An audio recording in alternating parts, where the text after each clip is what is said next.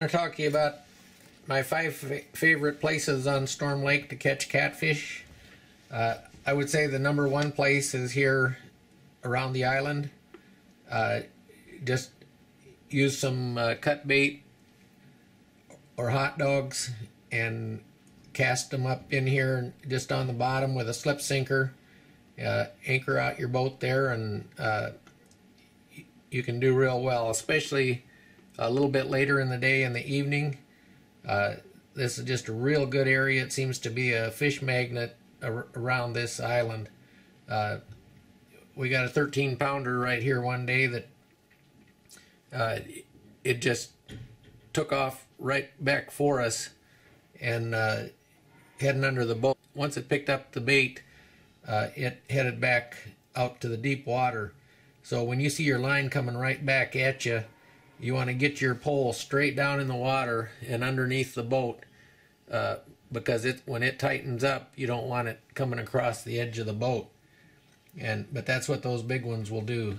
And another really fun thing to do is in the summer right in the heat of the summer the catfish will be especially up in this bay and this bay here kind of along the little bit higher banks that you find. Uh, the catfish are going to be right within five feet of shore. So cast right up to the shore, just like you're bass fishing, and and drag a night crawler back real slow off the shore, and you'll be just having a blast catching catfish. Another real good place for uh, just being able to sit and catch catfish is this rock jetty over here by the inlet. Uh, that's just an excellent spot over there. And I, I, would say the next spot here would be right off of the uh, point out here by Casino Bay. So, you know, if you're in a boat, uh, you can try just about anywhere. These new dredge cuts uh, would be good to try.